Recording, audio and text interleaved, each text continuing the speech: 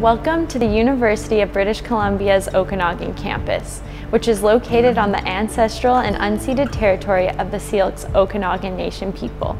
My name is Alyssa and I'm in the Bachelor of Education program. I'm originally from Vancouver Island and I'm a member of Cowichan Tribes. It's great to have you join us on this tour of UBC's Okanagan campus. UBC is a global center for teaching, learning, and research and constantly ranks in the top 40 universities worldwide. We're excited to help you learn more about the spaces and support available for Indigenous students and discover how the UBC Okanagan community welcomes Indigenous students from across Canada.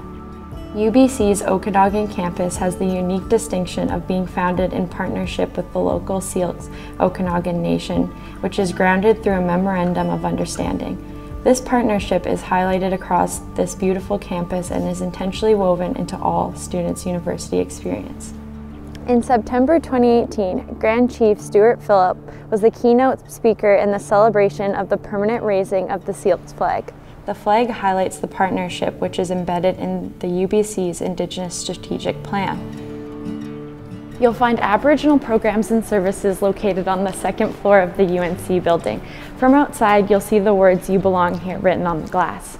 This space is the heart of Okanagan campus's Indigenous community, and it's designed to create a sense of belonging for Indigenous students like you. The Aboriginal Programs and Services team is based here and provides support for First Nations, Métis, and Inuit students. The team can help you with personalized academic planning, counseling, mental and physical well-being, career planning, and cultural programming. There are many ways to volunteer and get involved and often leads to students applying to leadership positions. Student staff are the heart and soul of the Aboriginal Centre and fill various roles including centre hosts, Aboriginal mentors, and tutors. Indigenous students are the driving force behind the programs in the centre, and staff are constantly looking for your feedback and promote an open door policy whenever possible. As you walk around UBC, you'll notice that the street signs are in the language of the Syilx people and English. These signs help to create a visible presence of Syilx on campus and acknowledge their culture and history. The nsyilxcən language has been taught here on campus since 2007. When you pick your on-campus housing, you'll have the chance to join the Indigenous Living Learning Community. Living learning communities are a chance for you to live in a close-knit group with people who share similar interests and values. The Indigenous Living Learning Community is based on the spirit of mutual engagement, trust, respect, and culture. If you choose to live here, you'll be welcome to connect with Okanagan Nation elders, attend traditional Indigenous programming, and participate in off-campus events like biking the Kettle Valley railbeds or hiking Kalamalka Lake Provincial Park. UBC Aboriginal Programs and Services worked in partnership with the Okanagan Nation Alliance to create this permanent piece of artwork on campus.